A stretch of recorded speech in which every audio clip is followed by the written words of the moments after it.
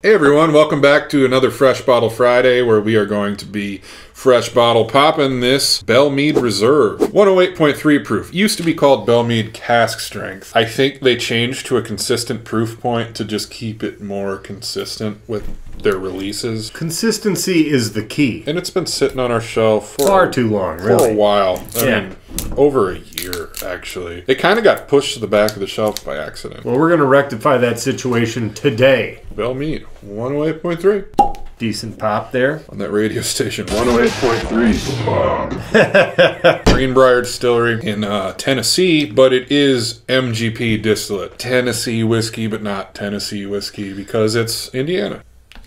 A bit traditional, I believe, would be the terminology I'm looking for. Kind of that corn forward, Yeah.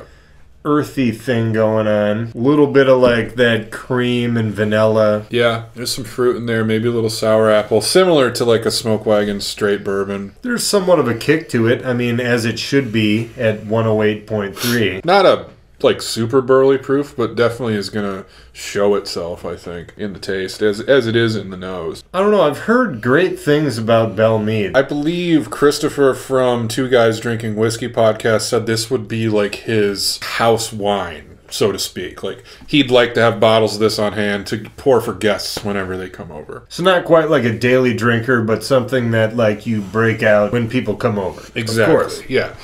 Put a bottle out on the table, everybody take a pour. I just got a text from Independent Joe. Him and his son waiting on Slipknot. Oh, nice. Independent Joe.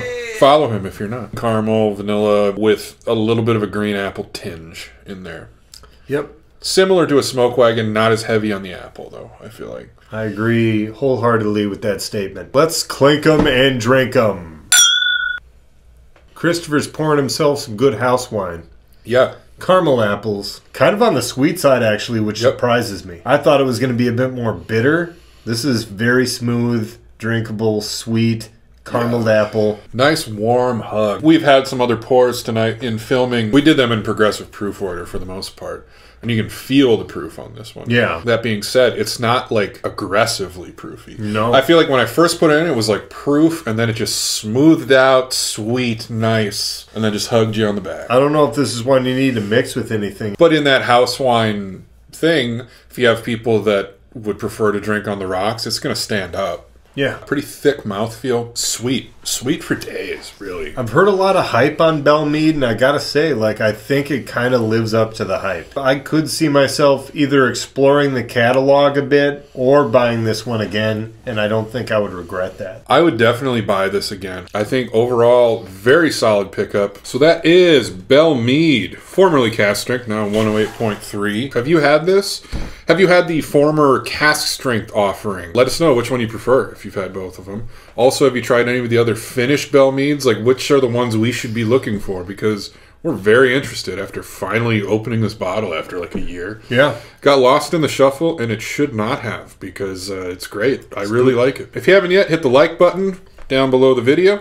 That helps us out a ton. Hit subscribe on the channel so you'll be up to date on what we're doing, whether it be videos like this, live streams, or our regular Wednesday videos. From the Western Wisconsin Whiskey Emporium for ladies and gentlemen, thanks for tuning in, and we'll see you next week.